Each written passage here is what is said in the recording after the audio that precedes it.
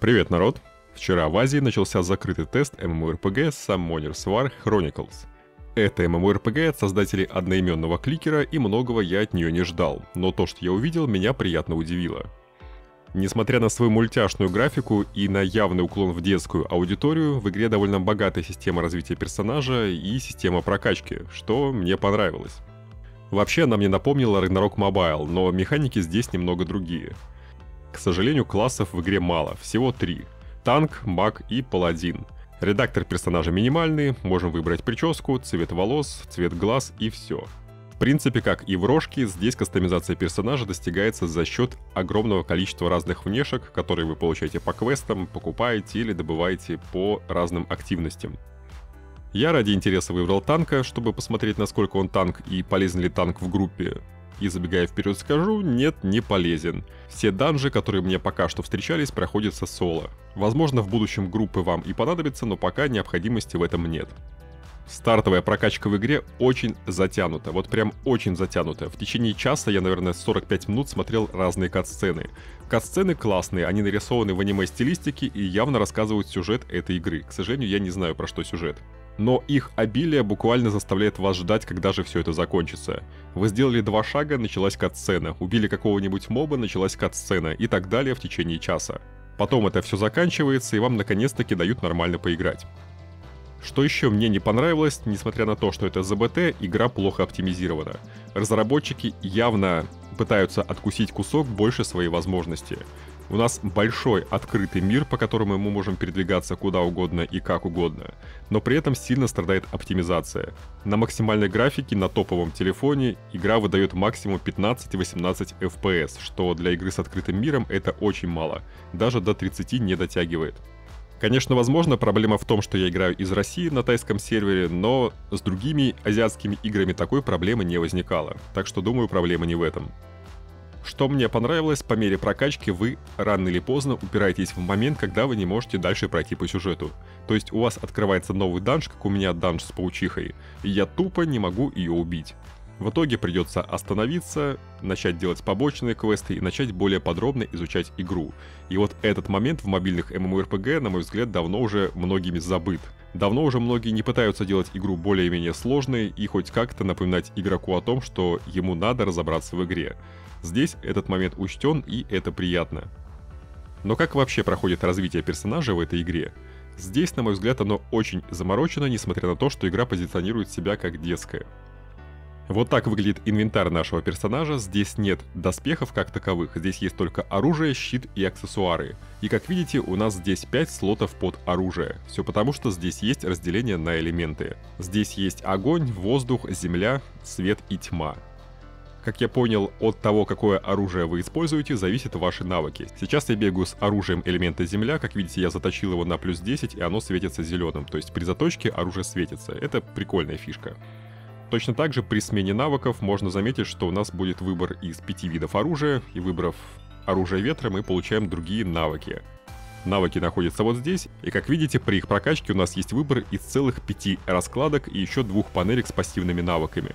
Я пока качаю навыки элемента земля, просто потому что, потому что мне кажется пока что это правильным, а также прокачиваю пассивные навыки, которых у танка тут очень много. Тут навыки на защиту, на усиление щита, на повышение хп, разных резистов и так далее. К сожалению, не все понятно, что здесь происходит, но видно, что кастомизация персонажа здесь довольно богатая. Помимо этого, как я уже говорил, оружие можно точить, точится оно за специальные вот такие вот осколки чего-то непонятного. Здесь же есть внешки на нашего персонажа, нам их дают по квестам. У меня сейчас надета броня и вот такой кусок плаща. Их будет явно больше, но пока доступны только это. Тут есть внешки на доспехи, разные шапочки, внешки на оружие и так далее.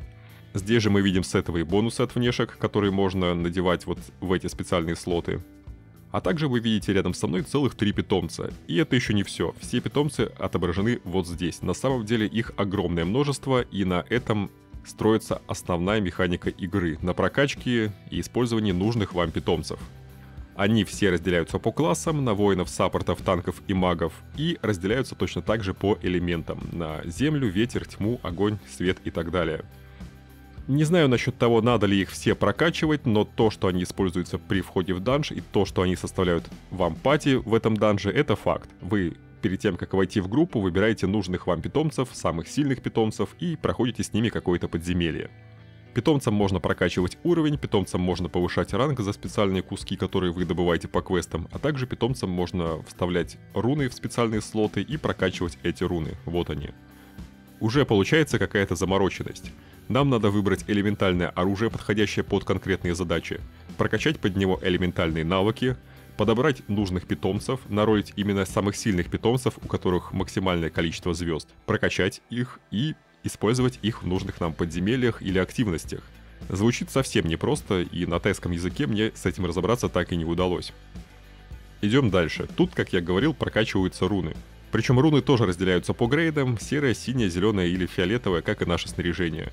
Руны можно прокачивать и перерабатывать, причем здесь как раз показано, какие руны какому пету можно поставить. А вот это наша гача, через которую и призываются все виды питомцев. Через первую и вторую гачу мы призываем нам питомцев, а через третью и четвертую призываем куски на улучшение этих питомцев. Короче, крутить, не перекрутить. Как я уже говорил, в Азии игра выйдет как обычная игра, а глобальная версия будет со встроенным NFT, то есть со встроенной криптовалютой. И скорее всего NFT-валюты станут вот эти питомцы, которых здесь в обилии. Будут они различаться по редкости, и самые редкие, скорее всего, будут продаваться за криптовалюту, которую сюда введут разработчики. Неизвестно пока, насколько это будет работать, насколько это будет приносить прибыль, но сам факт того, что в игру, абсолютно обычную игру, внедряют NFT, потому что сейчас это просто модно, меня печалит. Едем дальше, и у нас есть ездовые животные. Вот такого медведя нам дают по квесту, и он нам помогает максимально быстро перемещаться по локациям. Здесь же есть ездовые слоны, птицы, волки и так далее. В общем, животных большое количество, есть из чего выбрать. Есть даже вот такая вот летающая повозка в виде полудирижабля. Как я понимаю, питомцы тоже различаются по редкости и обладают какими-то своими дополнительными характеристиками. Никуда не делись коллекции снаряжения, разные ачивки, разные ежедневные награды и прочее, прочее. Как я понял, здесь еще есть мирные профессии. Это рыбалка, сбор травы и сбор разных минералов. Возможно, с помощью мирных профессий можем крафтить какие-то усиления для нашего персонажа или крафтить даже специальное снаряжение. По данжам все довольно просто. У нас есть вот такие вот ивентовые боссы, на которых я, к сожалению, не попал. Скорее всего, они открываются по времени. И есть целая куча вот таких вот данжей с ресурсами. Здесь нам предстоит убивать вот таких порингов, с которых падают ресурсы на прокачку питомцев.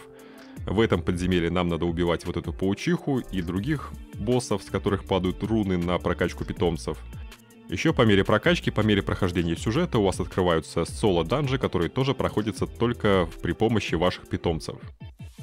В целом от игры я ожидал меньшего. Думал, что это будет более расширенное подобие кликера, с простыми механиками и незамысловатым сюжетом. Здесь же видно, что разработчики постарались. Они сделали открытый мир, сделали много способов прокачки персонажа, сделали какие-то хитрые механики, построенные на элементах, и сделали целую кучу питомцев, которых вам так или иначе придется собирать. По донату здесь тоже все довольно просто и понятно. Есть донаты на кручение гачи, есть донаты на базовые шмотки, есть донаты за первое пополнение и так далее. Донат стандартный. Подождем глобальной версии, чтобы хотя бы понять, как все эти сочетания элементов будут работать в игре. Пишите в комментариях, что думаете об игре.